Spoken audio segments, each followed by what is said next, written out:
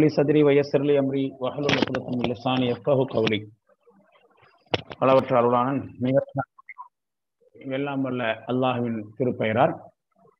எல்லா புகழும் அல்லாஹு ஜல்லசானு தாலா ஒருவனுக்கு உரித்தாகட்டும். சலாத்தும் சலாமும் நபிகளார் ஸல்லல்லாஹு வலை வசனம் அவர்கள் மீதும். அவர் வழி நின்று நடக்கும் நல்லடியார் அனைவர் மீதும். குறிப்பாக இணையத்தின் வழியாக இந்த வகுப்பில் இணைந்திருக்கும் நம் அனைவர்கள் மீதும் என்னென்றும் உண்டாகட்டுமாக. அன்புக்கும் மரியாதைக்கும் உரிய சகோதரர்களே சகோதரிகளே உலூமுல் ஹதீஸ். உண்மையில் முஸ்லிம் சமுதாயம் தவறவிட்ட அல்லது கவனத்தில் கொள்ளாமல் விட்ட முக்கியமான விஷயங்களிலே ஒன்று. அதை குறித்து உங்களுக்கு கடந்த மூன்று வகுப்புகளிலே தெளிவாக விளக்கப்பட்டிருக்கும் என்று நம்புகிறேன். சுருக்கமான வரிகளில் சொல்வதாக இருந்தால் உலூமுல் ஹதீஸ் ஹதீஸ் கலை என்று சொல்லுகிற பொழுது நபிகளார் சல்லல்லாஹு அலைஹி வசல்லம் அவர்களுடைய வாக்குகள் இஸ்லாமிய ஷரியத் என்று சொல்லுகிற அல்லாஹினால் வழங்கப்பட்ட வாழ்க்கை முறையினுடைய அடிப்படை மூலாதாரங்களில் இரண்டாவது என்று ஆகிவிடுகிற பொழுது அதை குறித்த ஞானம் அறிவு சரியத்தை பின்பற்றுகிற முஸ்லிம் சமுதாயத்திற்கு இருக்க வேண்டும். எனவே ஒரு கலை உருவாக்கப்பட்டது ஹதீசுகளை குறித்து. அதை பற்றிய விவரங்கள் தெரிந்தாலும் சுருக்கமாக சில செய்திகளை நாம் புரிந்தாக வேண்டும். உண்மையில் நபிகளாருடைய வாக்குகள் ஹதீஸ் என்கிற பெயரிலே இன்றைக்கு நாம் அறியப்படுகிற விஷயங்கள் அதை குறித்து சரியான முறையிலே ஒரு இறுதி வடிவம் தெளிவு காணப்படவில்லை என்று சொன்னால் வழக்கொழிந்து போன எத்தனையோ வாழ்வியல் முறைகளில் போல இஸ்லாமும் கூட வழக்கொழிந்து போவதற்கு வாய்ப்பிருந்திருக்கும் என்கிற அளவுக்கு அதற்கு முக்கியத்துவம் கொடுத்தார்கள் முன்னோர்கள். இதை குறித்து தெளிவாக குரானிலே குறிப்பிடப்பட்டிருக்கிறது. நூற்றுக்கணக்கான வசனங்களின் மூலமாக ஹதீஸ் இல்லை என்று சொன்னால் இஸ்லாமே இல்லை சரியத்தே இல்லை என்கிற கோணத்தில். எனவேதான் இதற்காக ஒரு கலையை உருவாக்க வேண்டி வந்தது. மிக நீண்ட நெடிய வரலாறு இதற்கு உண்டு. இஸ்லாத்தினுடைய சரியத்தின் அடிப்படை மூலாதாரங்களில் இரண்டாவதாக இருக்கக்கூடிய இந்த ஹதீஸுகளை குறித்து வரையறை செய்யப்படவில்லை என்று சொன்னால் நபிகளார் எதை கூறினார்கள் எதை விட்டார்கள் எதை கூறவில்லை எது இடைச்சல்கள் செய்யப்பட்டது இடைச்சல்கள் செய்யப்பட்டிருக்கிறதா பொய்யான தகவல்கள் கலந்திருக்கிறதா என்கிறது எல்லாம் வரையறை செய்யவில்லை என்று சொன்னால் சரியத்தினுடைய பாதுகாப்புக்கு குந்தகம் ஏற்பட்டுவிடும் என்பதற்காக வேண்டியே மிகப்பெரிய அளவுக்கு இதனை பாதுகாக்கக்கூடிய முயற்சிகள் மேற்கொள்ளப்பட்டு வந்தன. அந்த பாதுகாக்கப்பட்டு அதை நமவர் நம் வரைக்கும் கொண்டு வருவதற்காக மேற்கொள்ளப்பட்ட முயற்சிகள் அனைத்தையும் இல்முல் குரான் என்கிற குரானிய அறிவு அதாவது ஃபண்டமெண்டல்ஸ் ஆஃப் ஹதீஸ் என்று சொல்லலாம் அல்லது பிரின்சிபல்ஸ் ஆஃப் ஹதீஸ் என்று சொல்லலாம் அல்லது ஆர்ட்ஸ் ஆஃப் ஹதீஸ் என்று கூட சொல்லலாம். ஹதீஸ் கலையின் உடைய அடிப்படை. ரொம்ப முக்கியமானது. அதே நேரத்தில் இந்த ஹதீஸுக்கு பின்னணியிலே இருக்கக்கூடிய செய்திகள் எல்லாம் ருசிகரமானதும் கூட. இதை குறித்த தெளிவு இல்லாமல் போனதனுடைய விளைவுதான் கடந்த ஐம்பது வருட தமிழக முஸ்லிம்களுடைய வரலாற்றிலே ஏற்படாத ஒரு விஷயம் ஒரு விபத்து நடந்தது. ஹதீசுகளை வைத்துக்கொண்டு குறிப்பாக ஹதீசுகளினுடைய மேலோட்டமான வார்த்தை பிரயோகங்களை வைத்துக்கொண்டு இஸ்லாமிய ஃபிட்டிஹி என்று சொல்லப்படுகிற வழிபாடு சம்பந்தப்பட்ட மார்க்க விளக்கங்களில் மட்டுமே தர்க்கம் செய்து கொண்டிருந்த நிலைமை ஏற்பட்டதற்கு காரணம் என்று கூட சொல்லலாம். ஒரு கால் நம்முடைய முஸ்லிம் சமுதாயத்திலே இந்த உலூமுல் ஹதீஸ் என்று சொல்லக்கூடிய இஸ்லாமிய கலை தெளிவான முறையிலே விளக்கப்பட்டிருந்தால் கடந்த கால விபத்துகள் ஏற்பட்டிருக்காது என்று நான் நம்புகிறேன் ஓகே இப்போ உங்களுக்கு இந்த நான்காவது வகுப்பினுடைய டெக்ஸ்ட் அனுப்பி வைக்கப்பட்டிருக்கும் அதை பார்த்திருப்பீர்கள். அதுல வந்து உங்களுக்கு கடந்த பாடத்துல வந்து நபிசல்லாஹு அலைவசல்லம் அவர்களுடைய காலத்துல ஹதீசைகளை கற்றுக்கொள்வதற்காக எப்படிப்பட்ட என்னென்ன மாதிரியான வழிமுறைகள் மேற்கொள்ளப்பட்டன என்பதை குறிப்பிட்டு அவற்றை எண்ணிக்கையிலும் கூட சுட்டிக்காட்டி இருக்கிறார்கள் கற்றுக்கொள்வதற்காக எட்டு முறைகள் எடுத்து காட்டப்பட்டிருந்தன அப்படிங்கிற வித்தீர்ச்சி பொதுவாக நபிசல்லா அலிஸ்லமுடைய காலத்துல ஹதீஸுகள் அந்த அறிவிக்கப்பட்ட அந்த விதத்திலேயே தொகுக்கப்படுவது பெரும்பாலும் இல்லை என்றே கருதப்பட்டு வந்தது. நபிசல்லா அலிஸ்லாம் அவருடைய காலத்துல ஹதீஸுகளை எழுத்து வடிவில் எழுதி வைக்கப்படல. குறைந்தது ஒரு நூறு வருடத்துக்கு பிறகுதான் எழுத்துருவில் கொண்டு வந்தார்கள் என்று பொதுவான ஒரு கருத்து. உண்மையிலே அதற்கான தேவை இல்லாமல் போனதுனால அப்படி எழுதி வைக்காம போனாங்களா? அல்லது அப்படி எழுதி பதிவு செய்யறதுல அன்னைக்கு தொழில்நுட்ப ரீதியாக டெக்னிக்கலி சரியான வசதிகள் இல்லாததனால் அதனை அவ்வாறு எழுதாமலும் தொகுக்காமலும் போய்விட்டார்களா? என்பதையெல்லாம் தாண்டி சில முக்கியமான தகவல்கள் நமக்கு தரப்படுகிறது. இதற்கு பின்னணியில நபிசல்லாஹு அலைவாஸ்லம் அவர்களுடைய ஸ்டேட்மெண்ட்டே இருக்கிறது என்கிற ரீதியில. அதுல நபிசல்லாஹு அலைவாஸ்லம் அவருடைய காலத்துல அதீசுகளை சஹாபாக்கள் எழுதி வச்சிருந்தாங்க அப்படிங்கிறத நாம பார்க்கிறோம். உண்மையில நபிகள்னார் சல்லா அலிஸ்லமுடைய காலத்துல ஹதீஸுகளை வந்து எழுதப்படலை அப்படிங்கிறதுக்கு ஒரு காரணம் சொல்லப்படுறது வந்து ரசூலுல்லாவே என்ன செஞ்சிருந்தாங்க? எழுதாதீங்கன்னு சொல்லியிருந்தாங்க. காரணம் என்னவென்று சொன்னால் அது குரான் இறங்கிக் கொண்டிருந்த காலமா இருந்தனால குரான் பதியப்பட வேண்டிய தேவை இருக்கிறது. அதற்கான ஏற்பாடுகளை ரசூல்லா அஃபீஷியலாக அதிகாரப்பூர்வமாக செஞ்சிருந்தாங்க. காத்திபுல் வஹி என்று சொல்லக்கூடிய இறைப்புறத்திலிருந்து வரக்கூடிய செய்திகளை குரானை எழுதி வைப்பதற்கென்று நபிசல்லா அலிஸ்லாம் அவர்கள் எழுத்தர்களை நியமித்திருந்தார்கள். அவர்களுக்கு பெயரே காத்திபுல் வஹி. வகியை எழுதும் எழுத்தாளர்கள். பத்து பேர்கள் இருந்தார்கள். வகையை எழுதி வைப்பதற்கென்று நியமனம் செய்யப்பட்டிருந்தார்கள்.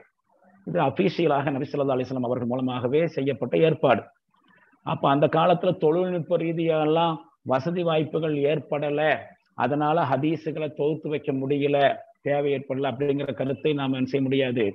ஏற்றுக்க முடியாது. ஏன்னா தொழில்நுட்ப ரீதியாக இன்றைக்கு இருப்பது போன்ற வசதிகள் எல்லாம் இருக்கவில்லை தான் பிரிண்ட் மீடியாவெல்லாம் இருக்கலை.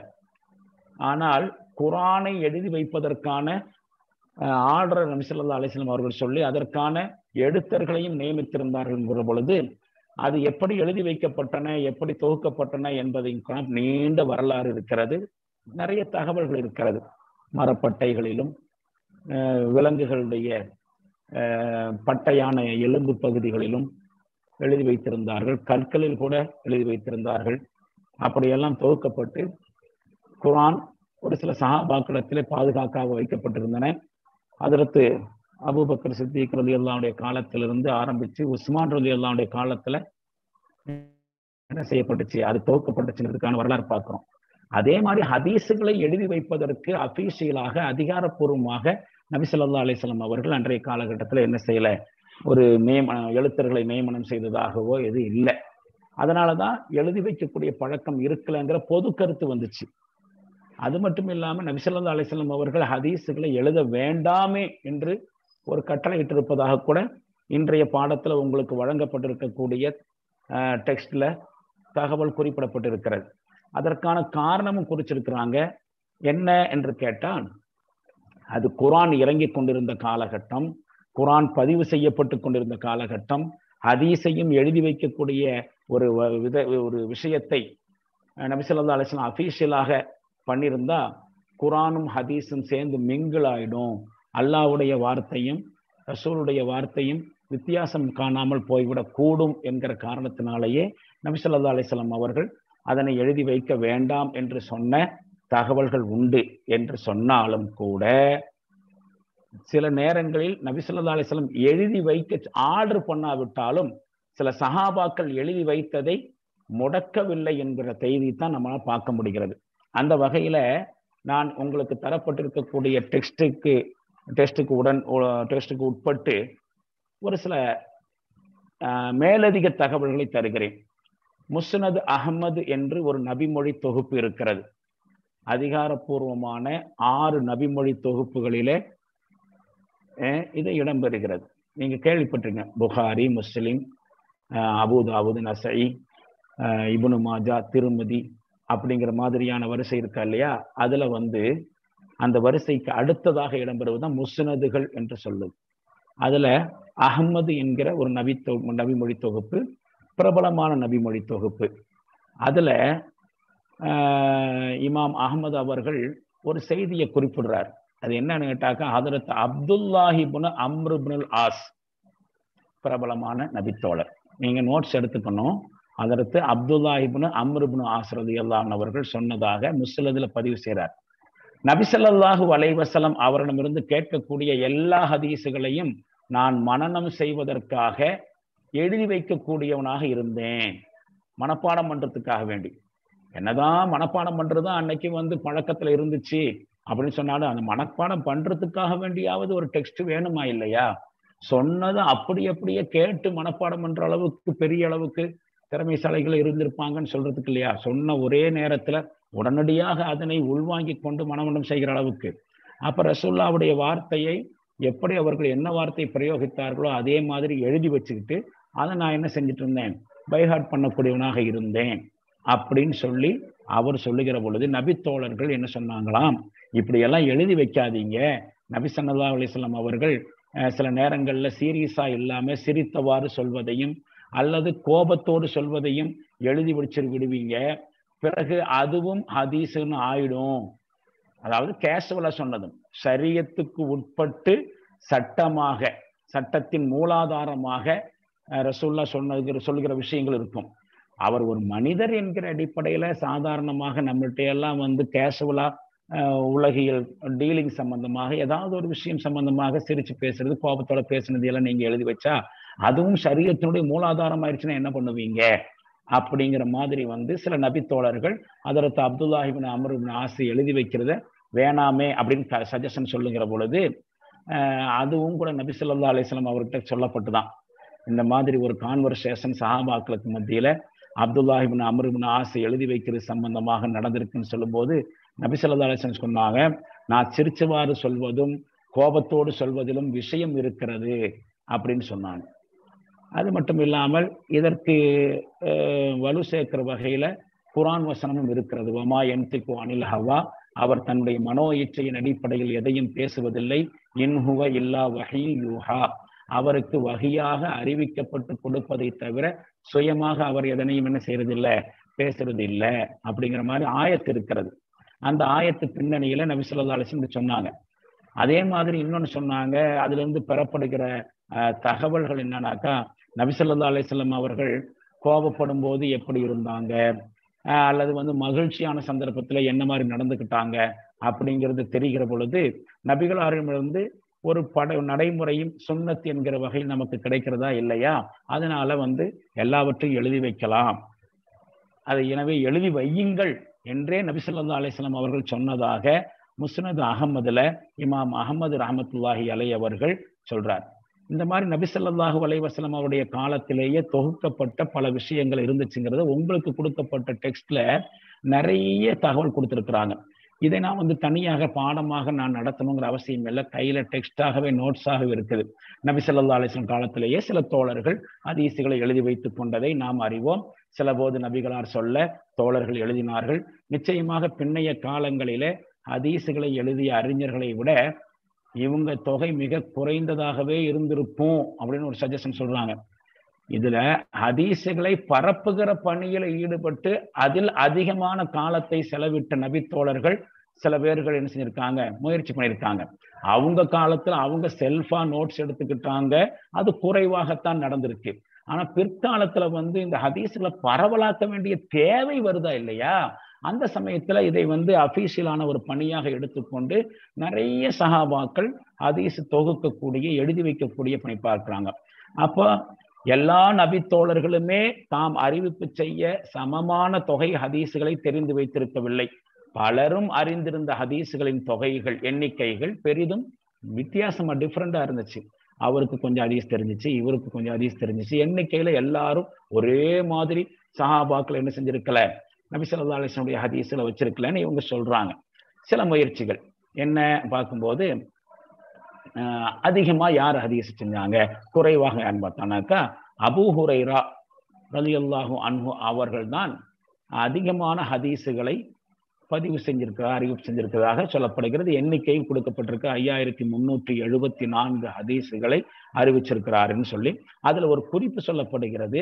என்ன அப்படின்னு கேட்டாக்கா உண்மையில இவர் அபு ஹுரைரா இந்த ஐயாயிரத்தி முன்னூற்றி எழுபத்தி நாலு ஹதீஸுகளை அறிவிக்கல. அவர் ஹதீஸை செஞ்சது வந்து அறிவிப்பு செஞ்சது வந்து ஆயிரத்தி இருநூத்தி முப்பத்தி ஆறு தான். இந்த ஐயாயிரத்தி சில்லரை எப்படி வருதுன்னு சொன்னானாக்கா அந்த ஹதீஸுகளை அறிவித்த அறிவிப்பாளர் வரிசை இருக்கா இல்லையா? அதை வந்து இஸ்னாது அப்படின்னு சொல்லுவாங்க. சனது இஸ்னாது. அறிவிப்பாளர்களுடைய வரிசை முறை. அபூஹுரைரா அவரிடமிருந்து அபூஹுரைரா யார்கிட்ட கேட்டார் இந்த விஷயத்த? அந்த மாதிரியான தகவல்களை எல்லாம் சேர்த்து தான் ஐயாயிரம் சில்லரை வந்துச்சே ஒழிய அபிஷியலா அவருடைய அறிவிப்பு வந்து ஆயிரத்தி இருநூத்தி முப்பத்தி ஆறு தான் அப்படின்னு சொல்லணும் அதே மாதிரி இபுனு உமர் அப்துல்லாஹிபின் உமர் அது எல்லாம் அவர்கள் என்ன சொல்றாங்க? ரெண்டாயிரத்தி அறுநூத்தி முப்பது ஹதீஸுகளை அறிவிப்பு செய்திருக்கிறாரு. இந்த மாதிரியாக கொஞ்சமா ஒர்க் பண்றாங்க. அந்த நோட்ஸ் நான் பிராணமா நடத்த வேண்டிய அவசியம் இல்லை உங்கள் கையிலேயே இருக்கிறனால நீங்கள் பார்த்துக்கலாம். அப்புறம் இதில் வந்து கிட்டத்தட்ட பரா இபின் ஆசிப் முன்னூற்றி அஞ்சு ஹதீஸுகளை அறிவித்தார் இவ பிறர் எழுதி கொள்வதற்காக வேண்டிய ஹதீஸை சொல்லுவார் அப்படிங்கிற மாதிரியான குறிப்போட நாம் நிறுத்திக்கலாம்னு சொல்லப்பட்டிருக்கு. அந்த நோட்ஸை வந்து நீங்கள் வந்து உங்களுக்கான தேர்வுகளில் பயன்படுத்துறதுக்காக வேண்டி நீங்கள் அதை பதிவு செஞ்சுக்கலாம். அதை நாம் மனநம் விட்டுக் கொள்ளலாம். ஒன்று. நபிசல்லா அலிஸ்லாம் அவருடைய காலத்துல இந்த மாதிரி தொகுக்கப்பட்ட தொகுப்புகளுக்கு வந்து அசஹீஃபத்து சாதிகா உண்மையான உண்மையின் ஏடுகள் அல்லது உண்மையான ஏடுகள் அப்படிங்கிற தலைப்புல வந்து சில பேர்கள் பெயர் வைத்தே என்ன செய்யப்பட்டிருந்துச்சு? தொகுப்பா வச்சிருந்தான்னு தெரிஞ்சு இதுல அபூஹுரையர் அலி அல்லாஹு அன்ஹு அவர்களுடைய ஒரு கொட்டேஷனை நாம தெரிஞ்சுக்கணும். அதிகமான ஹதீஸுகளை அவங்க அறிவிச்சிருக்காங்க. அதுல நிறைய ஆயிஷா ரதி அல்லாஹு அன்ஹா ரெண்டாயிரத்தி இருநூத்தி பத்து ஹதீஸுகள் அறிவிச்சிருக்கிறாங்க. இந்த அபூ ஹுரைரா ரதி அல்லான் அவர்கள் அறிவிப்பு செய்திருக்கக்கூடிய அல்லது மனநம் செய்திருக்கக்கூடிய ஹதீஸை குறித்து அபு ஹுரைராவுடைய ஒரு கொட்டேஷனையும் அதே நேரத்தில் ஆயிஷா ரதி அல்லாஹு அன்ஹா அவர்கள் அறிவிப்பு செய்த ரெண்டாயிரத்தி இருநூத்தி பத்து ஹதீஸுகள் பற்றிய ஒரு குறிப்பையும் நான் உங்களுக்கு சொல்லி ஆகணும். இந்த டெக்ஸ்ட் அப்படியே நம்ம வந்து ஒப்பிச்சுட்டு போறதுக்கு நான் தேவையில்லையே. அது நீங்களே படிச்சு பார்த்து தெரிஞ்சுக்கலாம் இல்லையா?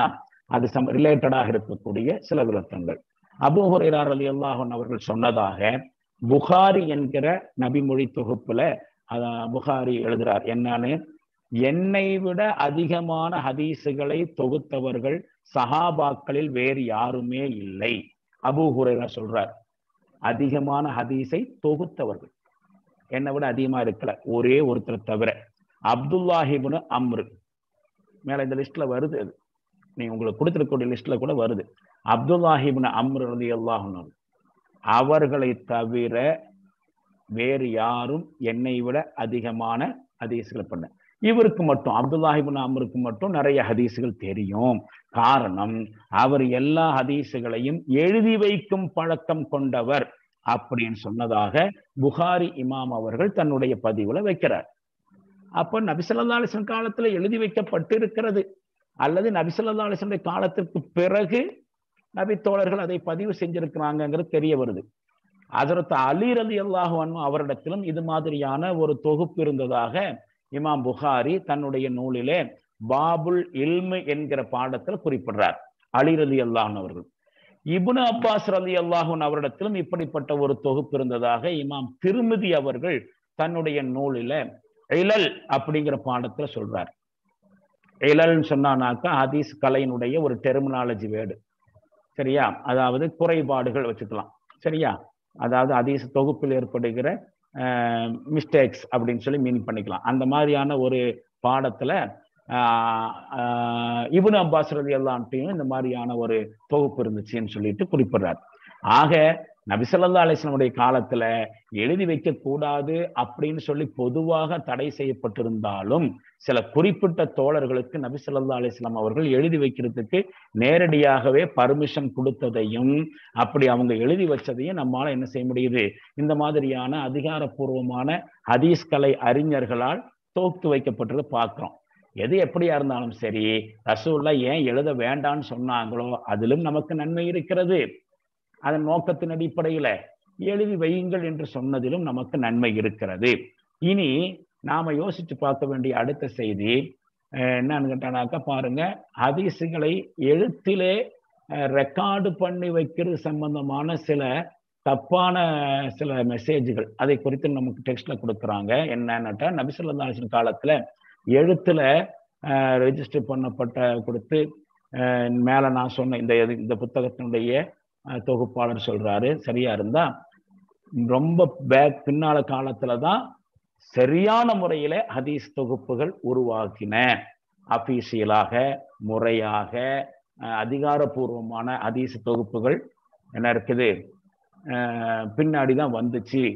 அப்படிங்கிற கருத்து ஏன் வருதுங்கிற பாடுறார். இதற்கான காரணங்கள் அவர் சொல்றாரு. ஒரு நாலஞ்சு காரணம் சொல்றாரு. என்னன்னு பார்க்கிறோம். ஒன்னாவதாக இந்த ததுவின் தஸ்னீஃப் கித்தாபா இந்த மூணு வார்த்தைகளுக்கு வித்தியாசமான அர்த்தம் சொல்லப்பட்டது. எல்லாமே பதிவு செய்கிறது எழுத்துல பதிவு செய்யறது ஆனா உண்மையிலேயே இந்த மூணு வார்த்தைக்கும் இடையில நுட்பமான வேறுபாடுகள் இருந்திருக்கிறது. என்ன வேறுபாடு? ததுவீன் அப்படின்னு சொன்னானாக்கா ஒருங்கிணைத்தல் அப்படின்னு சொல்லலாம். ஒருங்கிணைத்தல்ங்கிற மீனிங் தஸ்னீஃப் தொகுத்தல் அப்படின்னு சொல்லலாம். கிதாபத்துன்னு சொன்னா எழுதுதல். இந்த மாதிரி வார்த்தைகளுடைய பொருள் வித்தியாசத்திலேயே அதனுடைய செயல்களும் கூட வித்தியாசப்படுது அப்படிங்கிறது நம்மால புரிஞ்சுக்க முடியும். ததுவீன் ஒருங்கிணைத்தல். ஒருங்கிணைக்கக்கூடியவரோ அல்லது தஸ்னீஃப் தொகுக்கக்கூடியவர் அல்லது எழுதக்கூடியவர். அவர்கள் எல்லா எல்லாத்தையும் பாருங்க பதிவு அப்படிங்கிற மீனிங்கில் தான் இருந்திருக்கு. ஆனா இவங்கெல்லாம் இந்த ததுவீன் என்கிற வார்த்தையை தஸ்னீஃப் என்கிற வார்த்தையை அந்த ஹதீஸனுடைய கருத்தை தெரிஞ்சு வச்சுக்கிட்டு தான் பயன்படுத்தினாங்களா? அந்த ஞானம் அதீசிய ஞானம். இது வந்து சரீரத்தினுடைய ஒரு மூலாதாரம். அதனால வந்து இதை வந்து வார்த்தைக்கு வார்த்தை மாற்றம் இல்லாமல் தான் எழுதணும் அப்படிங்கிற புரிதலோ அல்லது அந்த சப்ஜெக்டுகளுக்குள்ளே அடங்கி இருக்கக்கூடிய செய்திகளை உள்வாங்கி கொண்டு. இதெல்லாம் பண்ணாங்களா அப்படிங்கிறது நமக்கு தெரியாது. இப்போ உதாரணத்துக்கு நான் சொல்றேன்டா. கிதாபத்து அப்படின்னா எழுதுதல்னு அர்த்தம். நீங்க வால் ரைட்டிங் பார்த்துருப்பீங்க. இன்னைக்கெல்லாம் ஃப்ளக்ஸ் பேனர் வந்துருச்சு. ஒரு காலகட்டத்துல வந்து விளம்பரப்படுத்துவதற்கு அது துணிக்கடையோ நகைக்கடை விளம்பரமோ அல்லது இன்னும் பிற ப்ராடக்டுகளுடைய விளம்பரமோ சிமெண்ட் விளம்பரம் அந்த மாதிரி இருக்கிறதெல்லாம் செவுத்துல பெருசா பிரம்மாண்டமா எழுதுவாங்க. அப்படி எழுதக்கூடியவர்களுக்கு அழகாக எழுத தெரியும். ஏன்னா தமிழ் எழுத்து வடிவத்தை மிக அவர்கள் அழகாக எழுதுவாங்க. ஆனா அவங்களுக்கு படிக்கவே தெரியாது. தமிழே தெரியாது. தமிழே வாசிக்கவே தெரியாதவர்கள். பேப்பர்ல அவங்க எழுதி கொடுப்பாங்க. அதை அழகிய எழுத்தாக எழுதுவாங்க. இது ஒரு பெரிய அதிசயம்தான். இப்படி வேடிக்கையாக கூட இருக்கிறது. நிறைய நடந்திருக்கிறது. இன்றைக்கும் கூட அந்த மாதிரியான நிறைய பேர் இருக்கிறாங்க. உதாரணத்துக்கு கீபோர்டில் மொபைல் மொபைல்லையோ அல்லது லேப்டாப்லையோ கம்ப்யூட்டர்லையோ கீபோர்டில் ப்ரொஃபஷனலாக டிசைன் பண்ணக்கூடியவங்க இருக்கிறாங்க. அந்த டிசைன் பண்ணக்கூடியவருக்கு இங்கிலீஷ் நாலேஜ் இல்லாவிட்டா கூட அற்புதமாக விசிட்டிங் கார்டு டிசைன் பண்ணுவாங்க லெட்டர் பேர் டிசைன் பண்ணுவாங்க. அதில் இருக்கக்கூடிய லெட்டர்ஸை வந்து என்ன செய்வாங்க? அடிச்சு கொடுப்பாங்க. ப்ரூஃப் ரீடர் அவங்க இருக்க மாட்டாங்க. வேற ஒருத்தர் தான் ப்ரூஃப் பண்ணுவாங்க. கரெக்டாக அடிச்சிருக்கிறாரா? நிறைய பேருக்கு படிக்க தெரியும்னு சொன்னா கூட படிக்கவே தெரியாதவர்கள் எழுத்துக்களை பார்த்து கீபோர்டு அடிப்பாங்க. குறைஞ்சபட்சம் தமிழ் தெரிஞ்சவங்களுக்கு இங்கிலீஷ் தெரியாத போது இங்கிலீஷ் டைப்பிங் பண்ணுவாங்க. ஆனா அவங்களுக்கு இங்கிலீஷ் நாலேஜ் இருக்கணுங்கிற அவசியம் இல்லை. அந்த நாலேஜ் இருக்கக்கூடியவங்க தான் ப்ரூஃப் பார்த்து கொடுப்பாங்க. கிதாபத்து என்று சொன்னால் வெறும் எழுத்தை எழுதுவது. ஆனால் புரிஞ்சுதான் எழுதுறாங்களா? அதுக்குள்ள இருக்கக்கூடிய கண்டென்ட் அவங்களுக்கு அண்டர்ஸ்டாண்டிங் ஆயிருக்குதா? சொல்ல முடியாது. கிட்டத்தட்ட ததுவீன் என்று சொல்லக்கூடிய ஒருங்கிணைத்தல் என்கிறதும் தஸ்னீஃப் என்கிற தொகுப்பும் கூட இந்த மாதிரியான அர்த்தத்தில் தான் வைக்கப்பட்டிருக்கிறது. அதுவே ஒரு காரணமா இருந்திருக்கலாம் அப்படின்னு ஒண்ணு. ரெண்டாவதாக இந்த ஹதீசுகளை அறிவிக்கிற பொழுது ஹத்தஸ்னா அஹ்பர்னா. அப்புறம் அதே மாதிரி அன். அரபியில அன் அபி ஹுரைரத்த ரவி அல்லாஹும் அபி ஹுரைராவிடமிருந்து அறிவிக்கப்படுகிறது. அவர்கள் குறித்து அறிவிக்கப்படுகிறது. அந்த அன் என்கிற வார்த்தை பிரயோகம் நீங்க பார்த்திருக்கலாம் அரபியில. அதற்கு முன்னாடி வந்து ஒரு வேர்டு வந்து ஹைடா இருக்குது அது அரபியில வந்து மஹதூஃப்னு சொல்லுவாங்க. திடீரென்று அன் என்கிற வார்த்தை பயன்படுத்த முடியாது. ஏன்னா அன் என்பது வந்து ஒரு இடைச்ச இடை வார்த்தை அதாவது நம்ம வந்து கிராமர்ல சொல்லுவோமா இல்லையா? என்ன கிராமரு? எல்லா கிராமர்லையும் வந்து பெயர் சொற்கள் இருக்கும் வினை சொற்கள் இருக்கும் இடை சொற்கள் இருக்கும். வெர்பு அப்புறம் வந்து என்ன சொல்லுவாங்க? இன்னொன்னு சொல்லுங்களேன். அந்த வெர்பு மாதிரியே நவுன் வெர்பு நவுன் இந்த ரெண்டையும் இணைக்கக்கூடிய இடைச்சொற்களுக்கு இன்னொரு பேர் இருக்கு. டிரான்சாக்ஷன் என்னமோன்னு சொல்லுவாங்க. அந்த மாதிரியான ஒரு வார்த்தை தான் அன் என்பது. பற்றி அப்படின்னு அர்த்தம். குறித்து. அதை குறித்து அதை பற்றி இதை பற்றி அப்படின்னு சொல்றதுக்கு தான் அன் என்கிற வார்த்தை. அதாவது அரபியில ஐன் என்பதும் நூனு என்பதும் அன். பற்றி தான் அன் அபிகுரைரா அப்படின்னு சொன்னாக்கா அபிகுரைரா குறித்து. அவ்வளவுதான் அதோட மீனிங் அபிகுரா அபிகுரைரா குறித்து என்ன? அப்ப அதுக்கு முன்னாடி ரூவிய. அறிவிக்கப்படுகிறது அப்படிங்கிறது ஹைடா இருக்கும். அது வந்து டெர்மினாலஜி அதீஸ் கலை டெர்மினாலஜியில எல்லாருக்கும் தெரிஞ்ச விஷயம். ருவிய அன் அபிஹுரைரா அபிஹுரைராவிடம் இருந்து அவர்களை குறித்து அறிவிக்கப்படுகிறது அப்படிங்கிற மாதிரி இந்த வார்த்தையிலும் அஹ்பர்னா எங்களுக்கு அறிவித்தார் செய்தியாக கொடுத்தார். ஹத்தஸ்னா எங்களிடம் பேசினார். ஹதீஸ் என்கிறதுல இருந்து அந்த ஹத்தஸ்னா. ஹதீஸ்னா பேச்சு ஹதீஸ்னா பேச்சு. ஹத்தஸ்னா எங்களுக்கு பேசி எங்களிடம் பேசினார். அக்பர்னா எங்களிடத்தில் செய்தியாக கூறினார். அன் அபிஹுரைரா அபிஹுரைரை குறித்து கூறப்படுகிறது. தேர்ட் பர்சன் மாதிரி கூறப்படுகிறது. அந்த மாதிரி. இல்லையா? இந்த மாதிரியான வார்த்தை பிரயோகங்கள் வாய்மொழி மூலமான அறிவிப்புகளில் மட்டுமே பயன்பட்டன அப்படிங்கிறது பாசங்க அப்படித்தானே சொல்லுகிறது? ஓரலா தான் இந்த ஹதீஸ் வந்து மக்கள் மத்தியில என்ன செய்யப்பட்டிருக்கு? புழக்கத்தில் இருந்திருக்குது அப்படின்னு தெரிய வருது. எழுதி வைக்கப்பட்டதா இல்லை. ஆனா இன்னைக்கு எல்லா ஹதீஸ் தொகுப்புகள்லையும் இந்த அன் என்ற வார்த்தையும் இருக்கிறது அஹ்பர்னா என்கிற வார்த்தையும் இருக்கிறது அல்லது ஹத்தஸ்னாங்கிற வார்த்தை இருக்கிறது.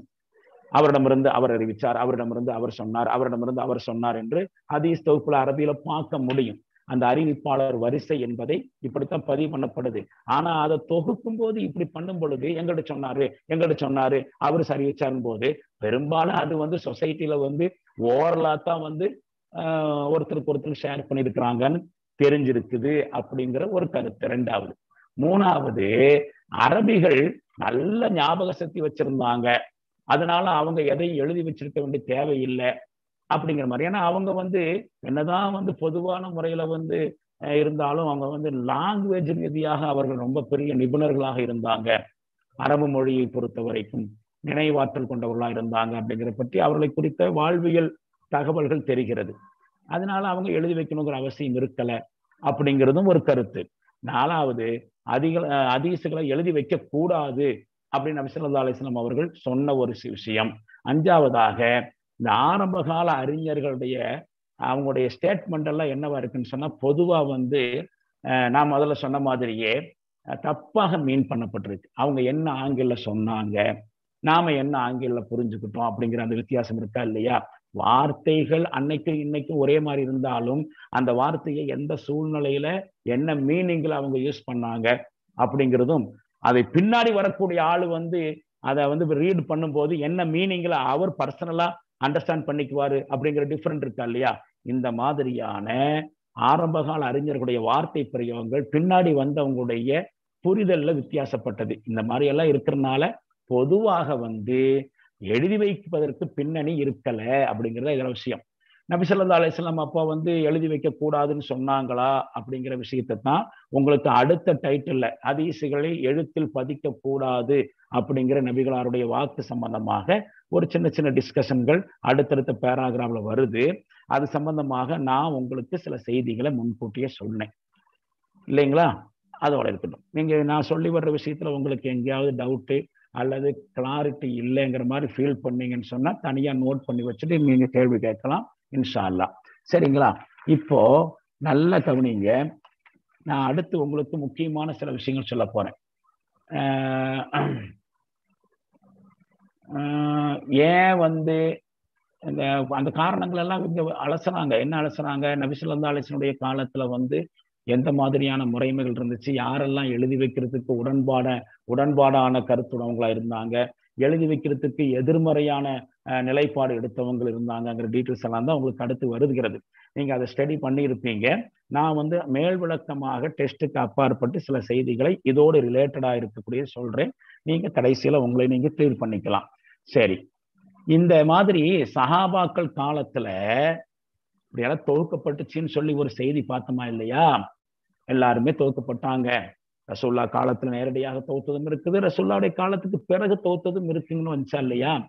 அது கிட்டத்தட்ட பொதுவாக இந்த டெக்ஸ்ட்ல வந்த தகவல் அடிப்பில் கிட்டத்தட்ட நூறு வருஷங்கள் வரைக்கும் அபிஷியலான எழுத்துருவாக்கம் நடைபெறவில்லை. இண்டிவிஜுவலா அவங்கவுங்க ஓன் இன்ட்ரெஸ்ட்ல அவங்கவுங்களுடைய தனிப்பட்ட தேவைகள் நிமித்தமாக அவங்கவுங்க தொகுப்புகளை வச்சிருந்தாங்க எழுதியே வச்சிருந்தாங்க அப்படின்னு சொன்னா கூட ஒரு அஃபீஷியலான ரெஜிஸ்டர் பண்ணக்கூடிய ரெக்கார்டு பண்ணக்கூடிய பதிவு பண்ணக்கூடிய முறை கிட்டத்தட்ட நபிசல்லா காலத்துக்கு பிறகு நூறு வருஷங்களுக்கு பிறகு அளவு கூட இருக்கல அப்படிங்கிறது தான் அதிகாரப்பூர்வமான தகவல். அந்த வகையில சஹாபாக்கள் காலத்துல எழுதி வச்சாங்க இல்லையா? இதுல ஹதீஸும் இருந்துச்சு அப்படித்தான் சொல்ல முடியும். நான் சொல்ற வார்த்தையை நீங்க கவனிக்கணும். ஹதீஸும் இருந்துச்சு.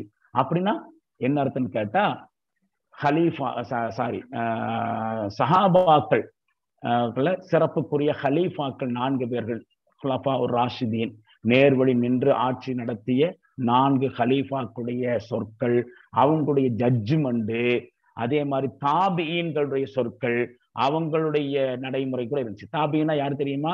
சஹாபிங்கிற கேட்டகரியில் வரமாட்டாங்க. சஹாபாக்கள் என்கிற கேட்டகரிக்கு அடுத்த நிலையில் உள்ளவங்க அதாவது அடுத்த தலைமுறை. சஹாபாக்கள் அவங்களுடைய ஸ்கேல் என்ன? ரசோல்லாவை நேரடியாக ஐயமான் கொண்டு நேரடியாக பார்த்து பேசியவர்கள் தான் சஹாபாக்கள். சரிங்களா? தாபியன்கள் அப்படிங்கிறவங்க வந்து சஹாபாக்களுக்கு அடுத்த தலைமுறை. இவங்க ரசூல்லாவை நேரடியாக பார்த்துருக்க மாட்டாங்க. இவங்கள தான் தாபியன்னு சொல்றது. அதற்கடுத்து வரக்கூடிய தலைமுறை தபா தாபியன்கள் அப்படின்னு சொல்றது. இது ஒரு டெர்மினாலஜி வேர்டு இந்த மாதிரி ஹுலஃபா ராஷின்னு சொல்லக்கூடிய அபுபக்ர் சித்திக்கிறது எல்லாரும் உமர்ல எல்லாரும் அலிரலி எல்லாம் உஸ்மான் அலி எல்லாம் அவங்களுடைய ஆட்சியின் பொழுது சில ஜட்ஜ்மெண்ட்கள் கொடுத்திருப்பாங்க. அந்த ஜட்ஜ்மெண்ட் எல்லாம் வந்து ஆயத்த ஹதீஸ் பின்னணியில அல்லது அதிலிருந்து இஜித்திஹாத ஆய்வு செஞ்சு இவங்க ஓன் ஐடியாவில் கொடுத்திருப்பாங்க. அந்த ஜட்ஜ்மெண்ட்டையும் ஹதீஸ் கலெக்ஷன்ல நோட் பண்ணி வச்சிருந்தாங்க. சஹாபாக்கள் தொகுத்ததுல. ஏன்? சஹாபாக்களுடைய கருத்துக்களும் இருந்துச்சு தாபியன்களுடைய கருத்துக்களும் இருந்துச்சு அப்படின்னு தான் இருந்துச்சு. எல்லாத்தையும் சேர்த்து தான் தொகுத்து வச்சிருந்தாங்க. இந்த தாபியன்களுடைய சொற்கள் நடவடிக்கைகளுக்கெல்லாம் அரபியில அசர் அப்படின்னு சொல்லுவாங்க. அசர்னாக்கா இம்பாக்ட்னு அர்த்தம். இம்பாக்ட். அல்லது அடிச்சுவடு அப்படின்னு சொல்லுவாங்க. அதை ஃபாலோ பண்ணி இவங்க சொன்னது. ஹதீஸில் இடம்பெற்றிருக்கக்கூடிய விஷயங்களின் அடிப்படையில இவங்க ஆய்வு பண்ணி சொன்னதுக்கு அசர்னு சொல்லுவாங்க. இதுவும் அதுல இருந்துச்சு. சரியாக சொன்னா சுத்தமான ஹதீஸ் தொகுப்புகள் எதுவும் இருக்கல. இந்த காலகட்டத்திற்கு பிறகுதான் முசுனதுகள் என்கிற தலைப்புல ஹதீஸுகள் தோன்றுகிறது. நல்லா கவனிங்களேன். ஹதீஸ் மட்டுமே தொகுக்கக்கூடிய பணி. ஃபில்டரேஷன் அப்படின்னு சொல்லலாம்.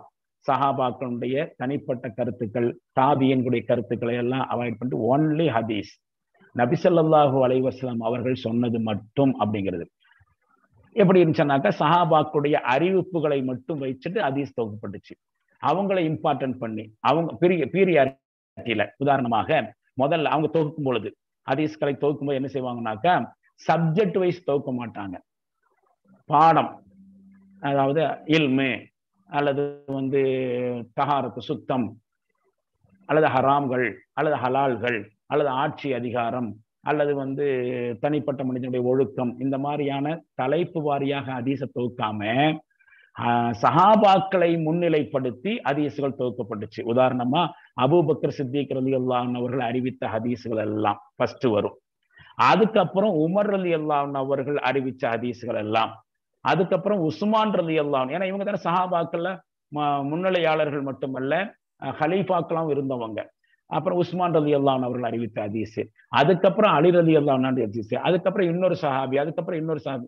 சஹாபாக்கள்ல யாருக்கெல்லாம் அன்றைய சொசைட்டில ரொம்ப இம்பார்ட்டன்ஸ் இருந்துச்சோ அல்லது இல்ல இல்மை கற்றுக்கொள்கிற விஷயத்துல அதிசை கற்றுக்கொள்கிற விஷயத்துல நபிகளாரோடு யார் அதிகமான நெருக்கமான தொடர்பு இருந்தாங்களோ அந்த வரிசை முறையை வச்சுட்டு அவங்க அறிவிச்ச ஹதீஸு அப்படின்னு தொகுத்தாங்க. இப்படி சஹாபாக்களை முக்கியப்படுத்தியும் வரிசைப்படுத்தியும் தொகுக்கப்பட்ட தொகுப்புகளுக்கு தான் அரபியில வந்து முசுனது அப்படின்னு பேர்.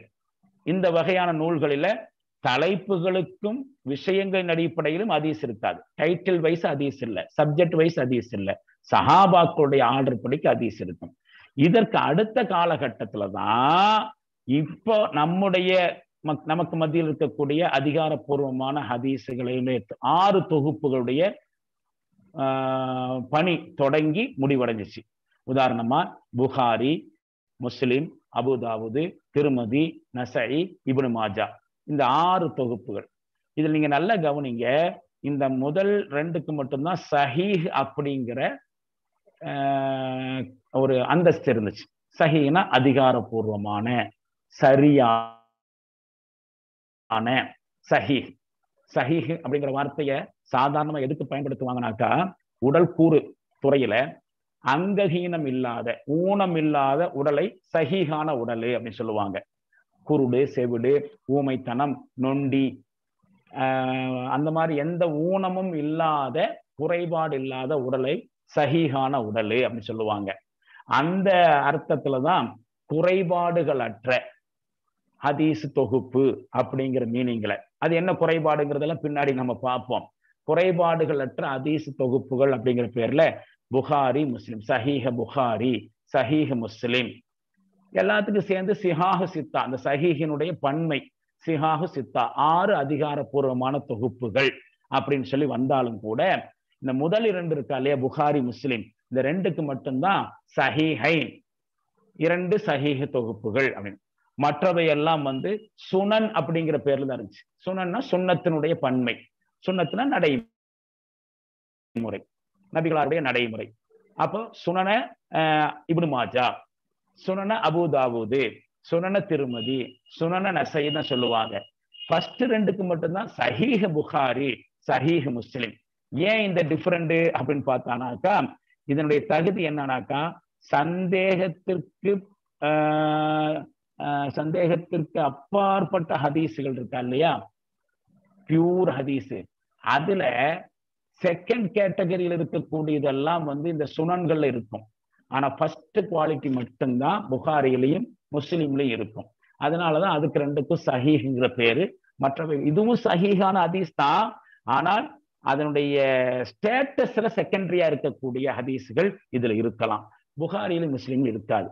ஆனா ஆறுக்குமே சிஹாஹ் சித்தா அதிகாரப்பூர்வமான ஆறு தொகுப்புகள் அப்படின்னு சொன்னா கூட சஹீஹ் என்கிற முற்றிலும் குறைபாடற்ற அதிசுகளை தொகுத்தது புகாரியும் முஸ்லிம் என்கிற அடிப்படையில அவர் இந்த தொகுப்புகளுக்கு சஹீஹ் என்கிற பெயர் மற்றவைகளுக்கு சுனனும் வந்துச்சு. இந்த இடத்துல வந்து முக்கியமான விஷயத்தை நான் சொல்லி இந்த கிளாஸை நிறைவுக்கு கொண்டு வர்றேன். நீங்க டெக்ஸ்ட்ல இருந்தோ அல்லது நான் சொன்னதுல இருந்தோ கேள்விகள் கேட்டு விளக்கமும் பெறலாம்.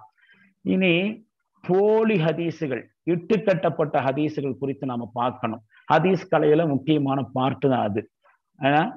மவுது அப்படின்னு சொல்லுவாங்க. மவுதுனா இட்டுக்கட்டப்பட்ட ஹதீஸுகள் லைஃப்னு சொன்னா பலவீனமான ஹதீஸ் அப்ப லைஃப் வேற மவுது வேற. இட்டு கட்டப்பட்டவை. அதையெல்லாம் தரம் பிரிக்கிறதுக்காக வேண்டித்தான் இந்த பணியை துவக்கப்பட்டுச்சு. அப்படி ஏன் இட்டுக்கட்டப்பட்ட ஹதீஸுகள் வந்துச்சு? லைஃப் பலவீனமானவை என்கிற பேர்ல எதை மென்ஷன் பண்றாங்க இந்த ஹதீஸ் கலை அறிஞர்கள்? பிற்காலத்துல அதாவது நம்முடைய காலத்துல இருக்கக்கூடியவங்க இந்த லைஃப் என்பதை எந்த மாதிரி இடத்துக்கு கொண்டு போனாங்க? அதீஸ்கலை அறிஞர்கள் லைஃப் என்பதை என்ன இடத்துல வச்சிருந்தாங்கிற இடத்துலதான் நம்முடைய புரிதல் வித்தியாசம் வருது. அதனாலதான் சமுதாயத்துல குழப்பமும் வருது. அதனாலதான் இந்த பயாட் மூலமாக இந்த கிளாஸையும் எடுத்திருக்காங்கன்னு நான் நினைக்கிறேன். இந்த அதீஸ்கலை ஞானம். உண்மையிலேயே லைஃப் என்றால் பலவீனமானது என்கிற பொருள் இருந்தாலும் சரியத்துல அதற்கு ஏதேனும் ஸ்டேட்டஸ் இருக்கா இல்லையா? அதாவது அதை தூக்கி போட்டுருணும் அது வந்து பயன்பாட்டுக்கு எடுத்துக்கொள்ளவே முடியாத ஹதீஸ் என்கிற அந்த அர்த்தமா? மௌலூன்னு சொன்னா இட்டுக்கட்டப்பட்டது மௌலூனா இட்டுக்கட்டப்பட்டது இட்டுக்கட்டப்பட்ட ஹதீஸுக்கு சரியத்துல எந்த மதிப்பும் இல்லை விலையும் இல்லை. அப்புறம் ஏன் அதை தொகுத்தாங்க? இது இட்டுக்கட்டப்பட்ட ஹதீஸ் என்பதை மக்களுக்கு தெரிவிக்கணுங்கிறதுக்காக தொகுத்தாங்க. உண்மையான ஹதீஸுக்கும் போலியான ஹதீஸுக்கும் விற்பாடுகளை வேறுபாடுகளை தெரிஞ்சுக்கணுங்கிறதுக்காக வேண்டி அதை தனியாக தொகுத்து வச்சாங்க. அதுக்கான காரண காரியத்தோட இது எதனால மௌது எதனால இது இட்டுக்கட்டப்பட்ட ஹதீஸு அப்படிங்கிற அந்த அடிப்படையில என்ன செஞ்சாங்க? எடுத்து வச்சாங்க. அதை பூரா தூக்கி குப்பையில போட்டிருக்கலாமே. அப்ப ஹதீஸ் சுத்தமா இருந்திருக்குமே. அப்படின்னா அந்த ஹதீஸ் சுத்தமா இருக்கிற ஃபில்டர் பண்ணது எந்த மெத்தேடுல பாருங்க இதெல்லாம் இட்டுக்கட்டப்பட்ட ஹதீஸ். இந்த மாதிரி ஹதீஸுகள் வந்து இஸ்லாத்துல இருக்கிறதுக்கு சான்ஸ் இல்லைங்கிறது எடுத்து காட்டுறதுக்காக வேண்டியா அது வேணுமா இல்லையா? குப்பையில தூக்கி போட்டானாக்கா நம்மளால டிஃப்ரெண்ட் புரிஞ்சுக்கும் அதாவது இந்த கலையை ஆராயக்கூடியவர்களுக்காகவும் தேவை இருக்குது. பொதுமக்களுக்கு தேவை இல்லாமல் போகலாம். ஒரு சராசரி முஸ்லீமுக்கு வந்து இந்த மௌதுவான ஹதீஸை குறித்தலாம். ஆனா துறைசார் நிபுணர்கள் இருப்பாங்க இல்லையா? அந்த ஹதீஸுக்கு பற்றி தெரிஞ்சுக்கிறதுக்கு அவங்களுக்கு அது தேவைப்படுகிறதுங்கிற அடிப்படையில் மௌது வச்சாங்க. ஆனா சரியத்துல அதுக்கு எந்த இடமும் இல்லை. அது தூக்கி எறியப்பட வேண்டியது அதை பின்பற்ற தகுந்த ஹதீஸ் இல்லை. ஆனால் லைஃப் என்பது அதே கேட்டகரியில் உள்ளதுதானா? இட்டுக்கட்டப்பட்டவை பலவீனமானவை. அப்ப பலவீனமானவை என்பது பின்பற்றுவதற்கு தகுந்தது இல்லை என்கிற முடிவுக்கு இந்த ஹதீஸ் கலை அறிஞர்கள் ஹதீஸை தொகுத்தவர்கள் வந்தார்களா? இல்ல நாம வந்தோமா அப்படிங்கிற கேள்வியில தான் நமக்கு நிறைய விளக்கங்கள் தேவைப்படுகிறது. புரிதல் ஏற்படும் இன்ஷா அல்லா இப்போ மௌலூனா போலி டூப்ளிகேட்டு. லைஃப்னு சொன்னானாக்கா பலவீனம். இது என்னன்னாக்கா மௌலுங்கிறது வந்து போலீஸ் இல்லை. உதாரணத்துக்கு சொல்றேன். உதா ஒரு உதாரணம். போலீஸ் அல்ல. போலீஸ் மாதிரி. அது மாதிரி இருக்கும். ஹதீஸ் மாதிரி இருக்கும். ஆனா ஹதீஸ் இல்லை. அது ஏன் அப்படின்னு கேட்டாக்கா அந்த காலத்துல சில ஸ்லோகன்ஸ் ப்ரோவர்பு ஹதீஸ் மாதிரியே இருக்கும். அதை அந்த லிஸ்ட்ல கொண்டு ஹதீஸா இருக்கும். பார்த்தா ரசூல சொன்ன மாதிரியே இருக்கு. அப்படிங்கிற மாதிரி என்ன செஞ்சிருவாங்க? அதை கொண்டு வந்துருவாங்க. அதை கொண்டு வந்து ரசிகர் சொன்ன அந்த அந்த அதாவது அந்த பாணி அந்த ஸ்லாங் இருக்கும். சில ப்ரோவர்பு சில ஸ்லோகன்ல. அந்த மாதிரி கொண்டு வந்துருவாங்க. உண்மையிலே வந்து அது ரசூலா சொன்னதா இருக்காது. சில மாதிரியான இது வந்து என்ன இருக்குன்னாட்டாக்கா ரசூல்லாவுடைய கருத்தை உள்வாங்கி என்ன செஞ்சிருப்பாங்க? சில கருத்தை சொல்லியிருப்பாங்க. அதுவும் ஹதீஸுங்கிற கேட்டகரியில வந்திருக்கும். இந்த மாதிரி தான் அதை தரம் பிரிச்சாங்க சரி இப்போ அடுத்ததாக இந்த போலி ஹதீஸுகள் உருவாகிறதுக்கு காரணம் என்ன அப்படிங்கிறத நாம் அடுத்த வகுப்புல பார்க்கலாம். அதுக்கப்புறம் தான் நம்ம என்ன செய்ய முடியும்? உங்களுடைய டெக்ஸ்ட்ல இருக்கக்கூடிய விஷயத்தை நேரடியாக நீங்க அட்டன் பண்ண முடியும். படிக்கும்போது உங்களுக்கு புரிய வரும். இப்ப நான் இந்த இடத்துல இந்த பாடத்தை நிறுத்துகிறேன். இந்த புத்தகத்துல உங்க கையில் இருக்கக்கூடிய இந்த நாலாவது பகுதிகளில் என்ன மாதிரியான விஷயங்கள் உங்களுக்கு படித்து புரிந்து கொண்டீர்களோ அல்லது புரியாமல் போனதோ அதை நீங்கள் என்ன செய்யலாம்? இந்த நேரத்தில் கேட்கலாம். இந்த அடிப்படை கலை ஹதீஸ் கலையில் இருக்கக்கூடிய நுட்பங்கள். சரியாக சொன்னா டெர்மினாலஜி அந்த மாதிரி வந்து இருக்கக்கூடிய விஷயங்களை தான் இப்ப நம்ம பேசிட்டு இருக்கிறோம். அது சில முக்கியமான ஆய்வுகளுக்கு தேவைப்படுவது மட்டுமல்ல சில ஹதீஸுகளை ஃபாலோ பண்றதுக்கு கூட இதில் நாலேஜ் தேவைப்படுதுங்கிறதுனால தான் சொல்லப்பட்டிருக்கு. நான் சில விஷயங்களை அடிப்படையாக உங்களுக்கு முன்னால் வைத்திருக்கிறேன். இந்த டெக்ஸ்டுக்கு உட்பட்டு பிற்காலத்தில் அதிகாரப்பூர்வமான ஹதீஸுகள் எப்படி தொகுக்கப்பட்டன யார் மூலமாக தொகுக்கப்பட்டன எந்த காலத்தில் தொகுக்கப்பட்டன மூணு விஷயத்தை நோட் பண்ணிக்கோங்க. அடுத்த வகுப்புல உங்களுக்கு அதுதான் இடம்பெறும் நல்லா கவனிங்க. அதிகாரப்பூர்வமான ஹதீஸுகள் தொகுக்க வேண்டிய தேவை ஏன் வந்தது? எப்போது எந்த காலகட்டத்தில் அது தொகுக்கினாங்க ரெண்டு யாரால் தொகுக்கப்பட்டுச்சு? யாரெல்லாம் அந்த வேலையை செஞ்சாங்க? அதனால் ஏற்பட்ட பலன் என்ன? ஒரு கால் இந்த மாதிரி அதிகாரப்பூர்வமான தொகுப்பை தொகுக்காமல் அப்படியே போயிருந்தா இன்றைக்கு நம்முடைய நிலைமை என்ன? இந்த மாதிரியான விஷயங்களை பற்றி தான் அடுத்த வகுப்புல நாம தெரிய போறோம். இது வந்து கொஞ்சம் இன்ட்ரெஸ்டிங் ஃபேக்ட் கூட. பின்னாடி வரக்கூடிய விஷயம் கொஞ்சம் வந்து கொஞ்சம் டிஃப்ரெண்டான ஆங்கிள் உங்களுக்கு அடுத்து இன்ஷாலா வரும். ஆஹா இந்த விஷயத்தை நாம இப்படித்தான் எடுத்துக்கணுமா? இதை நான் புரியாதனாலதான் நம்ம சொசைட்டில இப்படி எல்லாம் மிஸ்டேக் வந்துச்சா? அந்த மாதிரியான சில தெளிவுகள் பிறக்கிறதுக்கு அந்த மூன்று கேள்விகளுக்கான விடைகள் காரணமா அமையலாம். நோட் பண்ணி வச்சுக்கோங்க. இப்ப இந்த இடத்தில் இந்த வகுப்பை நான் நிறைவுக்கு கொண்டு வருகிறேன். அன்புக்குரிய தோழர்கள் ஏதேனும் சந்தேகங்கள் மேல் விளக்கங்கள் கேள்விகள் இருந்து